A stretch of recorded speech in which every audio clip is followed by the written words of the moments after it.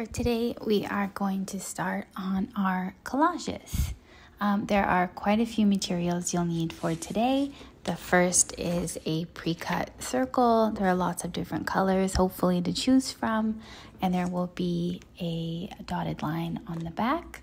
Um, that's important for later. You'll also need oil pastels, scissors, a glue stick, a pencil, and a square piece of paper. You can put all of those to the side except for your oil pastels and your circle. You're going to make sure to flip it over so that um, those lines are on the back.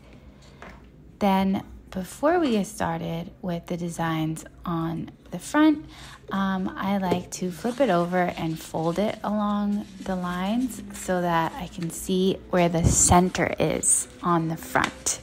Um, if you're making a pattern where you want it to line up, um, you can go ahead and do that and you won't see it in the final design because we're gonna cut it anyway.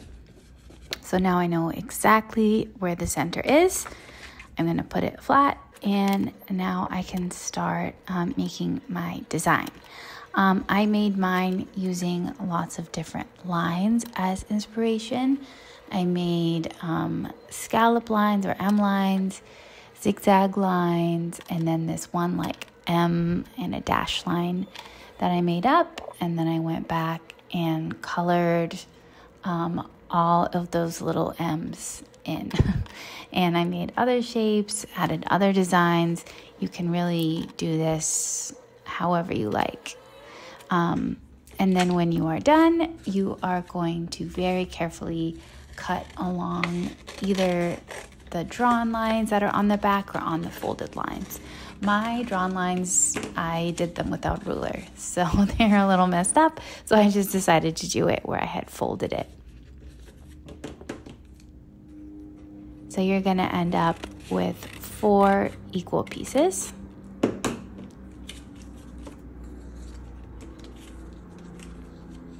Like that.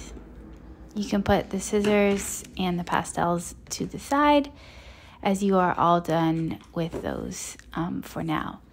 You're going to take the square piece of paper and the glue stick, the pencil. You need to write your name on the back of the square piece of paper along with your class number.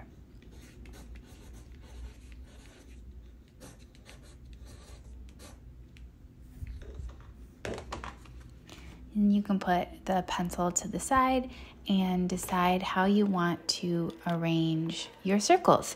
You can have them in so many different ways, it's totally up to you.